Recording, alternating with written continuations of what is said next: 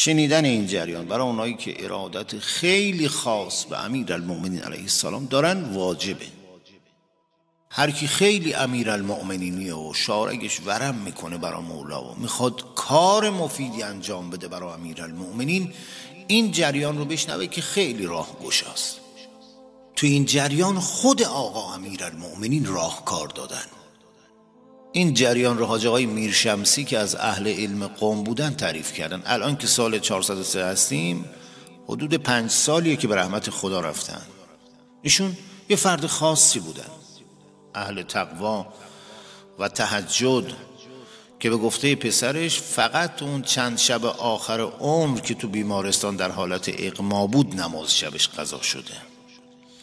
اهل رسیدگی به فقرا جلسه بگیر ندبه هر هفته تو منزلشون که تا الان هم که چند سال از فوتش گذشته ادامه داره. دهه محرم فاطمیه و امثال هم تو منزلشون اقامه ازا خلاصه آدم با اخلاصی بوده. اینقدر که شنیدم خواص به ایشون التماس دعا می‌گفتن. از ویژگی های بارز ایشون محبت فوق العاده و شدیدش به امیر المؤمنین علیه السلام همیشه تک کلامش این بود که امیر المؤمنین بسیار مظلوم بوده و هست و تو دهه محرم و فاطمیه و مناسبت هایی که تو منزلشون اقامه عذا بود به سخنران و ذاکر گوش زد می‌کردن که از امیر المؤمنین بگویید و بخونید. و اینقدر این ارادتش ویژه بود که جلسات دهه محرم قبل از سخنران و روزخون یه مداه مخصوص دعوت می‌کرد که نیم ساعت قبل از منبر فقط مد امیر بخونه. یعنی این قد امیر با اون سن بالاش تا موقعی که گرفتار بیماری نشده بود هر سال اربعینش پای پیاده بود. بسیار هم کتون. اصلا حرف نمی‌زد. به اصطلاح نم پس نمی‌داد. این اواخری که به بیماری سخت دچار شده بود دیگه رمقش رو گرفته بود و یقین داشت که دیگه روزای آخر عمرش هست یه مطالبی بیان کرده بود. از جمله این مطلب. که بیان کرده بود تو یکی از این زیارت های اربعین که از مرز زمینی آزم عراق بودیم تو مرز ایران و عراق خیلی اذیت شدیم. توی ازدهامی گرفتار شدیم که چارده ساعت روی پا بودیم و اصلا نمی‌تونستیم نه بریم جلو نه برگردیم. اینقدر که نمازمونم با کلی زحمت خوندیم. دیدین دیگه اربعین زیارت اربعین بعضی از مواقع جوونا رو هم به زانو در میاره. چه برسه به یه پیرمرد؟ گفته بود تو مرز خیلی اذیت شدیم. از مرز تا رسیدن به نجف هم متحمل سختی زیادی شدیم. دیگه با اون سن و سال وقتی وارد حرم امیر شده بود میگه دیگه من نای حرکت نداشتم. از فرط خستگی به دیوار حرم تکیه دادم. به ایوان طلای امیر خیره شدم و شروع کردم با اون حضرت درد دل کردن و نجوا کردن عرض کردم که آقا جان شما اول مظلوم عالم هستید. به هیچ کس به اندازه شما ظلم نشده. من از شما یه توفیقی می‌خوام تا بتونم تو این باقی مانده عمرم یه خدمتی به شما بکنم. دوست دارم سر سوزنی از قربت و مظلومیت شما کم کنم یا علی. ببین چقدر دغدغه داره.